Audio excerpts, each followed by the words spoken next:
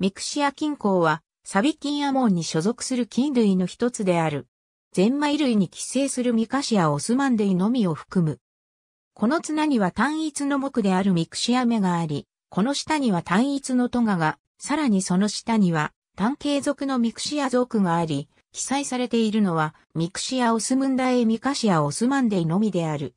特徴としては、多核の菌糸を形成すること、胞子形成細胞の表面に多数の胞子を生産することである。この種はゼンマイオスマンダジャポニカで発見され、日本の菌類学者である西田当時によって1911年に記載された。その際にはタフリナ属のものとしてタフリーナオスマンデイと名付けられた。つまり原始的な死脳菌類であると考えられた。これは観察のミスによって外生胞子を胞子形成細胞の内部に形成されたものと見誤ったからである。その後に蒸気の族から独立させて、現在の名となり、プロトミケス化に移され、さらに独立化のミクシア化が建てられたが、それでもタフリナ目に置くという判断は変わらなかった。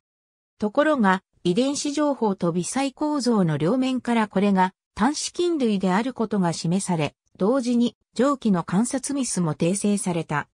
Hibbett et al. では上記のような位置に置かれる。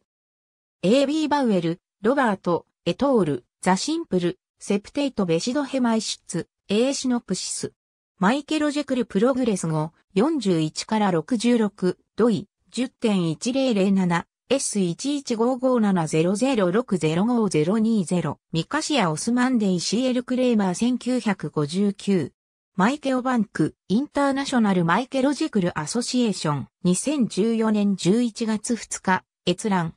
以前は半死の金庫に所属させた。現在ではタフリナ金アモンタフリナ金庫とする。いずれにしても、死脳金門である。ありがとうございます。